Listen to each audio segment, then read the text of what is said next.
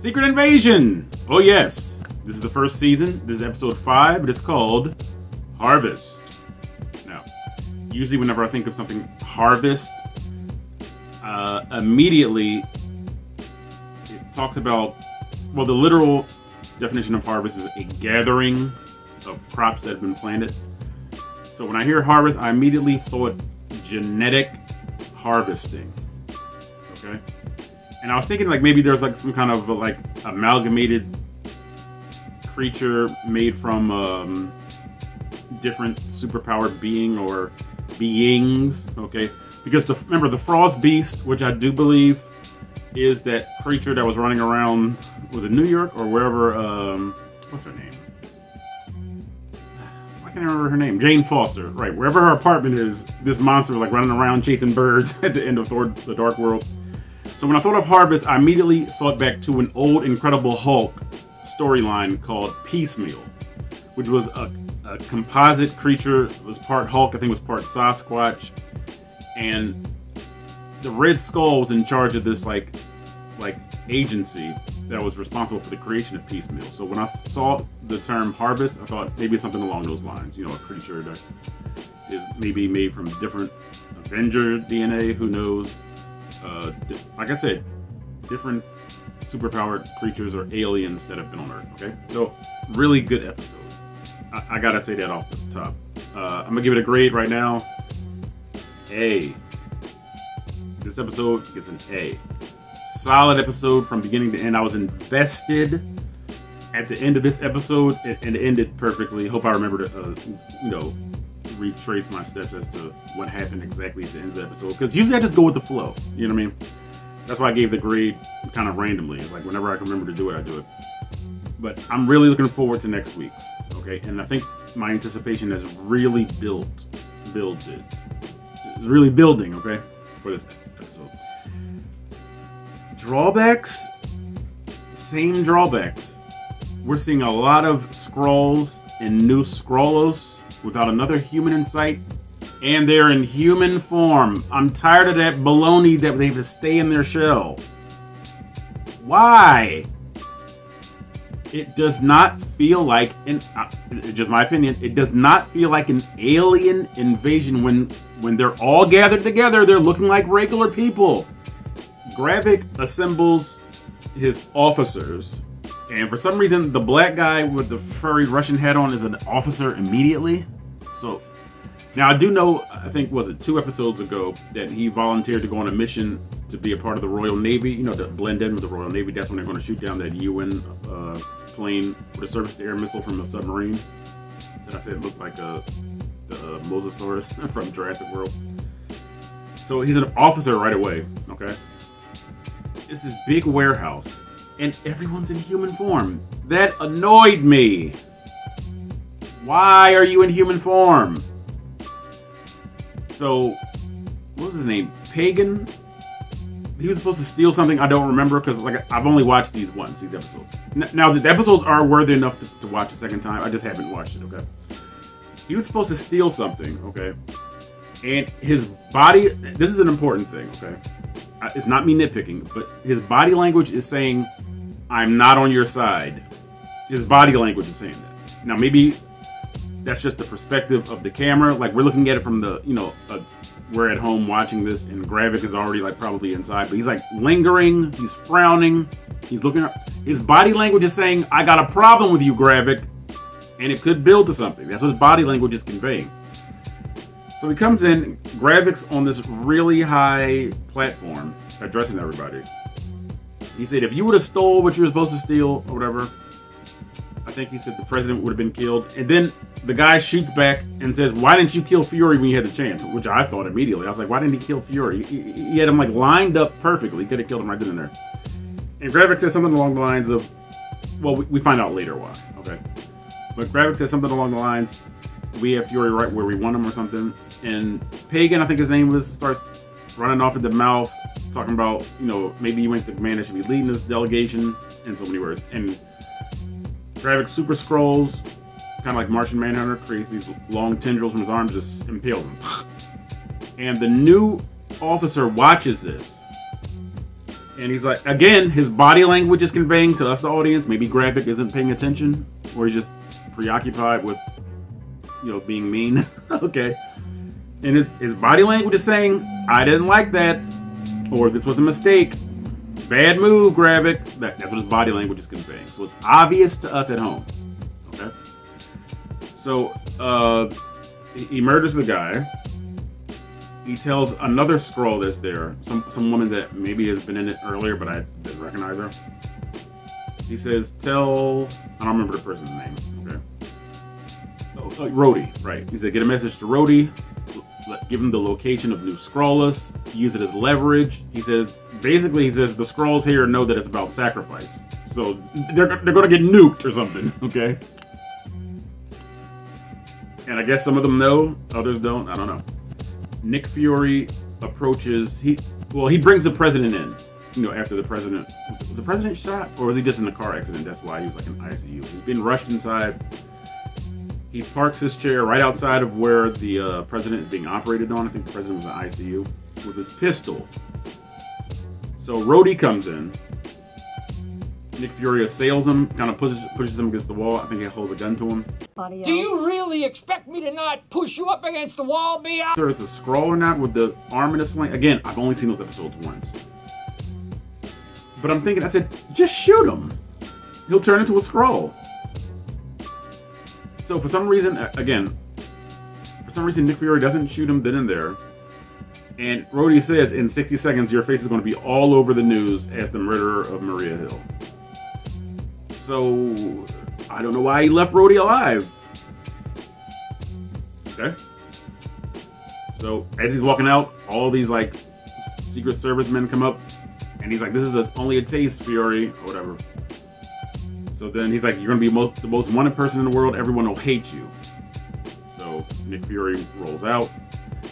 Then we see Olivia Colman. She goes to a laboratory that looks like a home, and there's a couple there and I love Olivia Colman. Sonya Falsworth, okay? She's very smug, very British, okay? When one of the Skrulls threatens to kill the other Skrull, if he, you know, if she divulges any information, he's like, we're not gonna betray Gravik. Sonya Falsworth just pulls out her pistol and just shoots him in his head. Boom! Like you're supposed to. And he turns into a Skrull for everybody to see. So I was thinking, like, now why did Nick Fury do that? And remember, Nick Fury is like the real deal. He's like a super spy, he's ahead of everybody, even like the Avengers, so to speak, the superheroes. So then they're trying to figure out what is Gravik talking about about the harvest. And Nick Fury explains to I think Sonya Falsworth because he goes to one of his graves. You know, he has fake graves all over the place, which was basically like a, a cache, you know, weapons cache and like probably equipment. He goes to one in Finland along with Sonya Falsworth. He explains that for the Battle of Earth, which I believe was Endgame, I think. All right. I don't think it's referring to New York, but I think it's about the uh, Endgame. He says that every Avenger spilt blood, including Carol Danvers, who was um, Captain Marvel. He said, I sent in people to collect as much DNA as possible, and they were Skrulls, apparently. And he said the leader of that operation was Gravik. So that's how Gravik even knows about the harvest. So Gravik is kind of trying to leverage Nick Fury to bring him the Avengers DNA all in one vial, and including including excuse me, uh, Captain Marvel because I don't think she's an Avenger officially. So it's all in one vial, hidden inside of Nick Fury's gravestone, and that's what Gravik wants to create Super Skrulls. Now my issue is multiple Super Skrulls. To me, that cheapens the unique Super Skrull character. But, but guess what? I don't care because this is very well done. All right, this storyline is great All right? So a lot of, maybe not as much action, but great dialogue scenes. And again, something else that I just didn't understand. When G'iah went to talk to Nick Fury's wife, I don't remember her name, Dr. Priscilla, something like that. Dr. Priscilla. They're having a chit chat. They're burning Talos' body, Return of the Jedi style, you know, with Luke burned Darth Vader's body after he died. I'm like, why are you still in human form? Why? Why are you still in human form? Then he go back to her, the, home of Fury. Still in human form. And G'iah says, why did you want to stay here when you knew the assassins would come for you? She's like, I always loved this house. No sooner are the now she said something along those lines. No sooner are the words out of her, her mouth that gunfire comes in. Broo broo. I'm like, uh, maybe you shouldn't stay there. So the assassins come in human form. I'm like, why? Why is there no Skrull technology on this planet? You mean to tell me the Skrull homeworld was destroyed? And again, I didn't see Captain Marvel. And they didn't bring any weapons? They're gonna etch a inch. What do you call it? They're gonna like scratch out a new life on this planet and didn't bring any of their equipment except fruit. Come on, why don't they have any like lasers or whatever? But anyway, again, maybe that'll just make it too science fiction and they want to be grounded like Mission Impossible. Again, a lot of Falcon and the, uh, the Winter Soldier vibes, but it's still good. Okay, but but I'm I'm just wondering, I'm like, why, why, why, why? Human assassins to kill two Skrulls in human form. There's nothing alien to this. All right. So Nick Fury calls Gravik or whatever, and Gravik saying, "Bring me the vial." Or Rhodey's gonna nuke, have the president nuke New Skrullos. All right, and then they put on the news feed that the Skrulls are on on Earth, on human soil, working with the Russians. Because remember, the idea is for World War III to happen between the United States and Russia. And when Nick, when uh, Colonel Rhodes, who's a Skrull, runs this past the president, the president's like, a nuclear strike on Russian soil? No way. And then Rhodey gave a really corny like response. I'd rather be in World War III than be extinct. I'm like, World War III could bring about extinction there, Rhodey. So bad line. But I know what he meant. But maybe it could have been written a little better. One thing I really love, the fact that Samuel L. Jackson is all over this series. That's one thing I like. And that's one thing that I was reticent about. I was like, I hope Samuel L. Jackson is really going to be in this. He's really in the series. Okay. What we can what can we take from this uh, this great episode, episode five, Harvest? Gravik needs Nick Fury alive, and now we find out why. Because remember, he's just looking at Fury in the first one, and he's like, boom, and blew the place up. He specifically did not want to kill Nick Fury, okay? But he's been leveraging Fury this entire series to get the vial of the harvest to create super Skrulls. And we've seen that Gravik is a very totalitarian person. He's willing to destroy, decimate the entire colony just to have his way. Scary. And then a lot of the Skrulls, they outright rebel against him, which he couldn't see, but you could see as the audience because we're like reading people's body language. And they like wrap a bag around his head. I'm like, very human, you know, like they're like hitting him with stuff and like trying to like it's like a hardcore match from the Attitude Era era of the WWF. And he turns into Skrull form. Nobody else does. They just look like a bunch of humans being beaten up by an alien. He bodies them. He comes down and says, "Who wants some?" I'm like, very human of you, Gravik. So, as I said, not a lot of action, but the drama is really building. The episode ended with Nick Fury donning his long leather trench coat and the eye patch. All right, he left his wedding ring on for some reason, and I was hoping he would get that rid of that hat and just. But when you're Nick Fury and you look like Nick Fury and you're in your standard Nick Fury garb, uh, I don't know what difference a hat is going to make because it's on site. When the whole world is looking for you and you're going to face the whole world in your typical garb, Nick Fury is ready for war.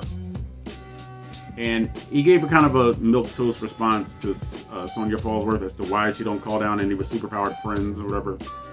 And he's like, because I've lived lives different from them. He's like, I, I know things that they, they don't. He said, this is personal, which is whack. Okay.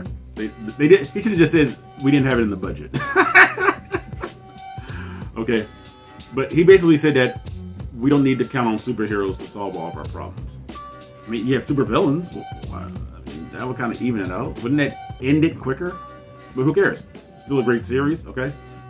So this has been my recap, my recall, my retort, my review of episode 5, Harvest from Secret Invasion, the series on Disney+. Plus. Comment, please leave a dissertation if you need to, so we can talk about this, we can discuss different aspects of the plot, What is your feelings, your thoughts towards the Secret Invasion storyline, this series? Again, to me, each episode has escalated. It's gotten better with time, and I think that's that's a great formula. All right, and I don't know if it's a 12 episodes or 8, 10, whatever. But I'm on board. I'm really invested now. It started slow, and I don't have a problem with it starting slow. But the, the tone was just off to me because I, I really couldn't get past the Falcon and the Winter Soldier vibes. But anyway, this has been The Great Expanse by JonBap 426, and I can't wait to see you guys next Wednesday for episode 6 of Secret Invasion.